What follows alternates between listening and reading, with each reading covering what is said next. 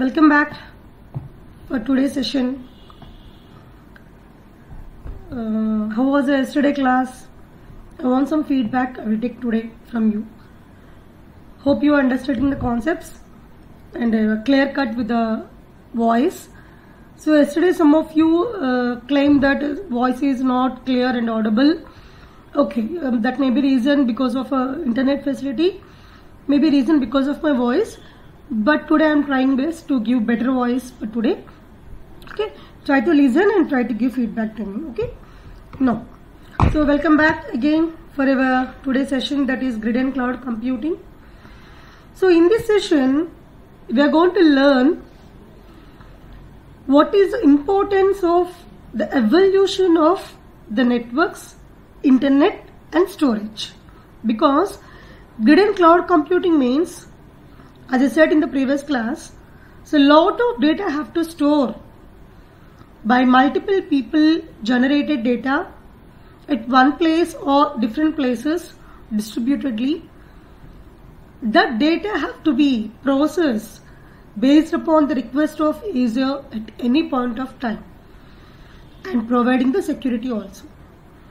So if it is a case, we should be in a thought that or we should be in a imagined position that what is the amount of storage they are creating every day. What is the network technologies we are going to use every day. Okay. So I will give you a brief introduction regarding this uh, today. Tomorrow I will explain each and every point in detail. Right ma? Right. Right. Public cloud service providers. Before this, I want to introduce some of the companies which are providing this useful service for us. So without those companies, without those companies, we can't estimate our data generation, data creation, data storing, data processing, data retrieving, data security. This is not at all possible. Without that, lot of people may used to suffer. Okay, so we are doing easy of work, easy of task every day because of these companies. I can't say that is a limit of these companies, but we have a lot of companies. I want to give only few companies list which are providing cloud services. One is the Amazon Web Services, is the topmost company, which is very useful for today to perform machine learning, AI, and IoT solutions. Google Cloud, you know, because we are going to use the Google Drive for today, Google Suite, Google Classrooms, Google Forms, a lot, a lot, a lot. So it is indefinite work. I, I can say, I can say there is no limit for these services through throughout the clock. Okay, Microsoft Azure, which helps the students along with the professors to pro, to process their data in a very short period of time. The main advantage of this company is the process to deploy your data and the process to uh, to process your data is also very shortcut possibility. Remaining companies will take longer procedure to provide their service, but this is only the company which is going to provide very less processing possibilities. Okay. Next, next one is a DigitalOcean. So, which is based upon the MySQL, Drupal, PHP and Python languages. Next one is the IBM Bangalore. So, this is the one which is a combo pack I can say. Actually, to be frank, IBM is a foremost company which is giving services in every aspect, in every aspect that is in IaaS, PaaS and SaaS. Okay. Next one, Cisco Systems. So this is a company which provides us to store to virtualization. So in the last class I given brief introduction regarding the virtualization. Okay. So along with that orchestration means processing a large amount of data. Okay. Next one more company is a VMware virtual machine where very very important ma by which with the less amount of processing capability and the storage we can process our large amount of data and store amount, large amount of data. Next one is the Sify.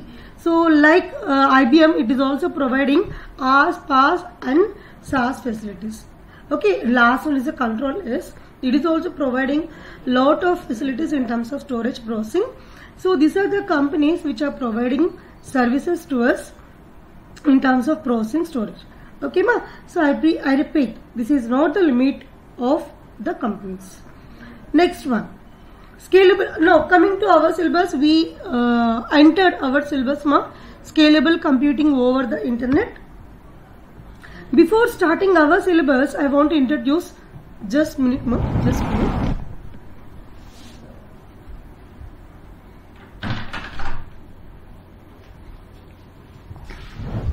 sorry for the inconvenience so scalable computing over the internet see I, I want to give some picture representation for you regarding the evolution of the processing hardware. If you observe the above line we have some in- initially dumb terminals which can't process okay which can able to receive and send only right? So after that after connecting these terminals they uh, they uh, sorry they formed a distributed service okay? Distributed service which can provide service based upon the request of the client okay later they provide large individual servers means which can store not with a single system not with the multiple system but only with the single system they can store any amount of data and processing at that end. But after combining these type of servers, they connected different servers called as a multiple distributed servers. So they are scattered around the globe, but they can give the service with the connected uh, information. Next one is a high density server FEMS. The FEM is what? The FEM is nothing but the one company I can say with lot number of servers connected at one place okay, at one place. So in a distributed, lot of servers are connected in a scattered manner around the globe. But in a firm, these servers are connected one place only. Okay. Later, virtualization and software define everything. So virtualization, I repeat, the usage of less amount of storage in large amount of possibilities. Okay. So how can this possible? This is possible with the help of software define everything right ma so this is the line the evolution of computing or storage capabilities now coming to connectivities network without the network connectivity we can't do anything. For example we have a large amount of data but how can you send that share that to multiple people? Is it possible? No. With the connectivity only it is possible right? So if it is so see seriously. And the first one terminal access to mainframe applications. So some terminals can access request sorry access service based upon the request to mainframe computers. Later they can do the same applications or same processing at a single system only without connecting to mainframes. Later they have some client server applications. We got specifically we are specifying servers to some application and some clients as a requesters this is after that a lot of computers are connected by using internet web service hosting. So we got the evolution of the internet here so that any system can communicate anywhere in terms of client server or in terms of distributed. Next one, we started doing applications on the in- internet. He, uh, till now we collected only. But here we start application means we can process application anywhere online. And finally, cloud enabled applications means here not only processing, we can store, retrieve, and uh, we can store our data for long term. Right, ma? So this is evolution in terms of storage capabilities, in terms of network capabilities, right? So after this, I want to show one more picture to you, which gives evolution in terms of computers.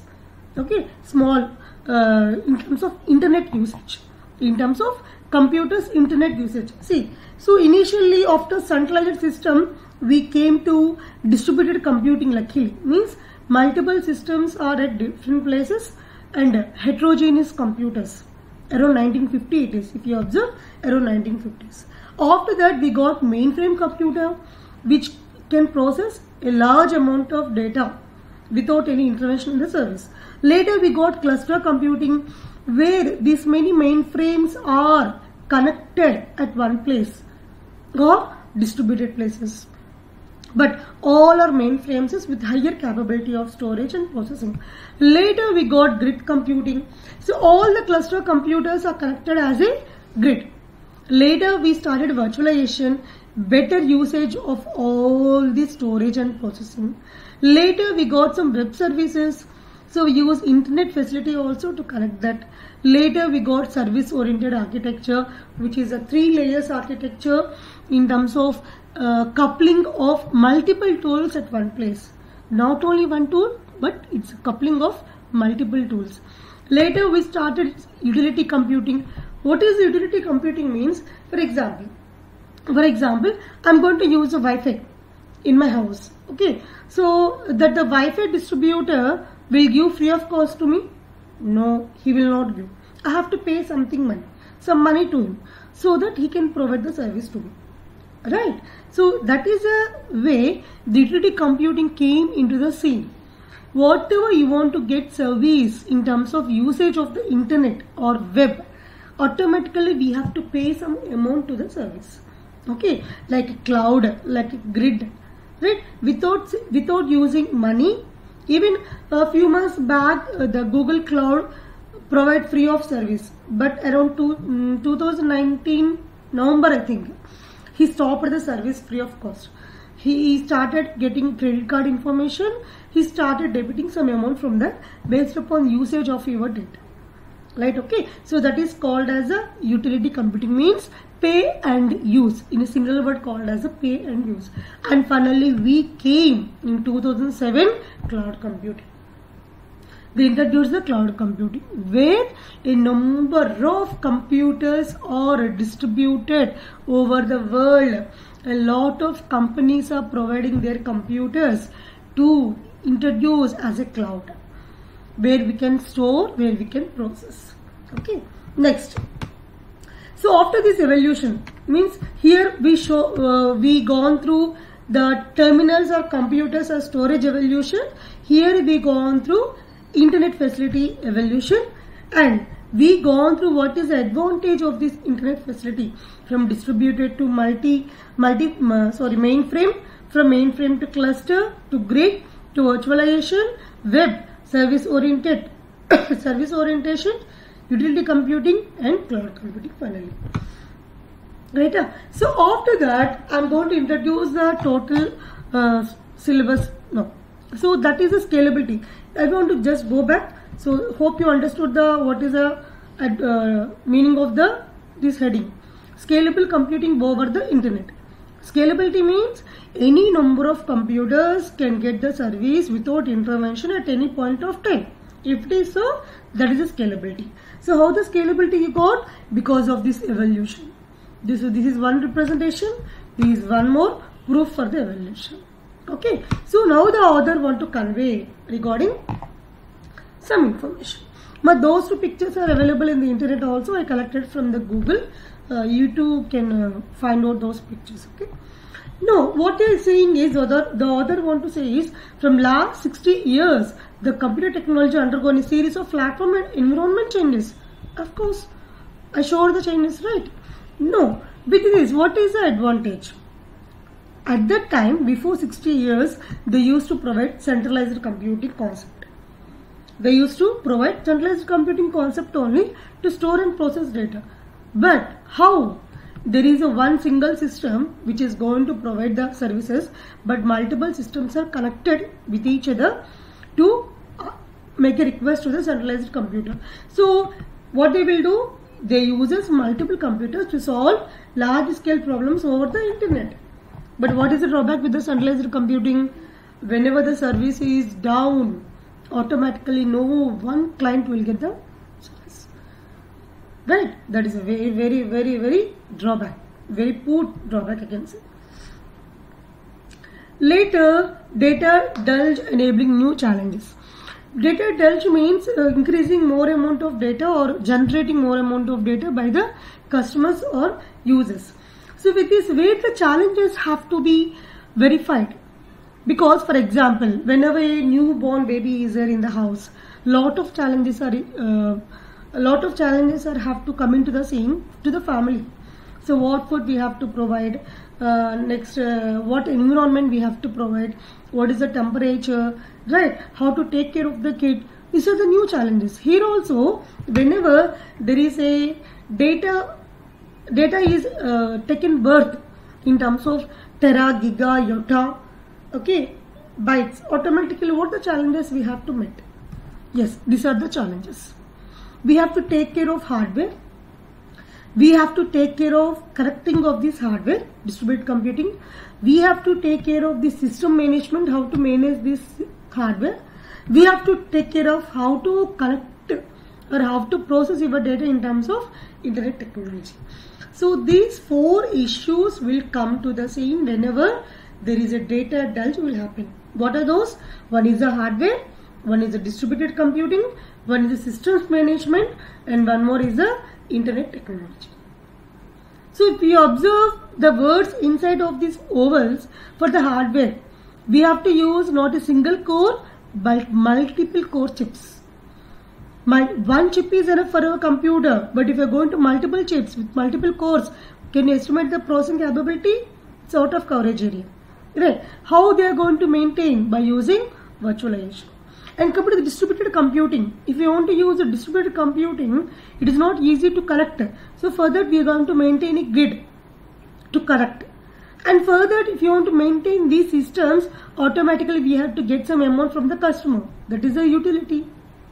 Now, if you want to manage these systems, automatically what we have to do? We have to maintain automatically. That is called as autonomic.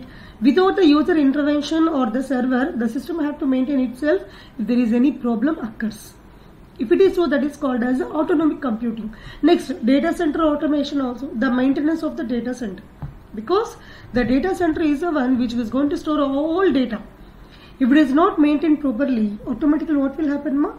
Data will become more and more, the processing capability will decrease.